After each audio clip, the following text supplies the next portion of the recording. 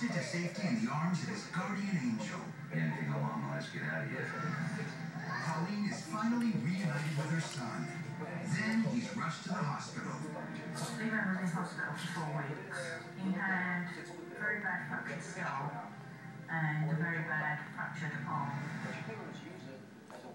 I think this is the hungry caterpillar. But survives his brush with death. Yeah, they feel quite lucky to be alive. He Look how he, what he's eating that leaf.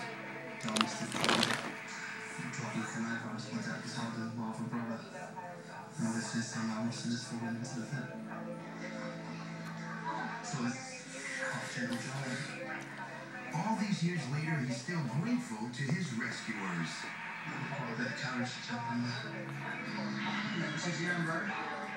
When he passed away peacefully six years later, the zoo commissioned a life-size bronze statue.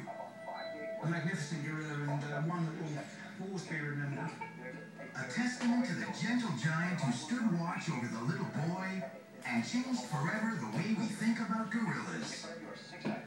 His behaviour on that day did so much